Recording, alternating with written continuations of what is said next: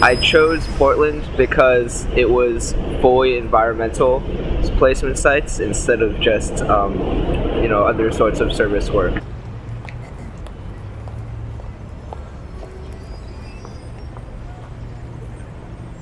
It's been something that it's a lot more rewarding than I ever could have imagined it to be, especially in terms of environmental education.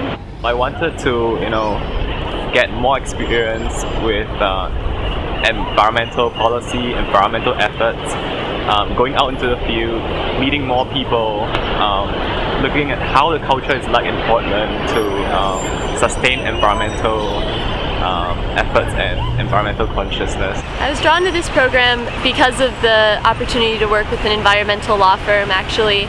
I've always loved the ocean, it's always been my passion and I just need to find some way to help it, to save it, and it seems like Clean Water Act, environmental law seems like a good path to go. And at the Oregon um, Nature Conservancy chapter, we're working to try to mitigate or um,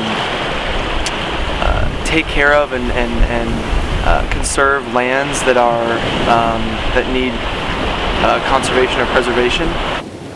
Yeah, be careful about where you put this. You might want to put it in a different place because it's morning glory and it'll like resprout. The volunteers here are doing some summer maintenance in our garden, which is used by all 420 K through 5 students. And uh, the garden is used as sort of a learning laboratory where we integrate all curriculum and all subjects across all the grades, and also to grow food for the school um, lunch. So we're also Portland Public Schools pilot program for more nutritious, locally sourced, uh, quality meals made from scratch on site, which is sort of a revolutionary thing here. I'm putting some uh, like dead leaves and grass that we cut down into um, first stage of what looks like a three-stage compost pile. Once it breaks down more, you can use it as more of a nutrient-rich uh, fertilizer for the rest of the garden. This guy is a, a native snowberry, and the morning glory, if it's let to run free, and I've seen this not only at the school, but like in the field where I work, but it'll completely overtake the native plants and just choke them out.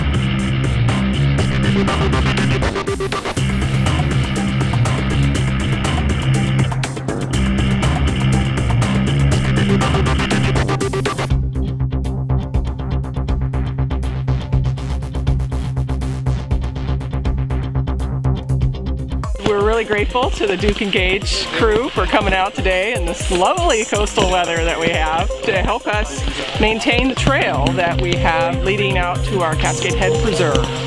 We like to make sure that folks can come out and appreciate the work the Nature Conservancy is doing to preserve these unique areas, these special places for uh, protecting the diversity of life on Earth by preserving the lands and waters they need to survive.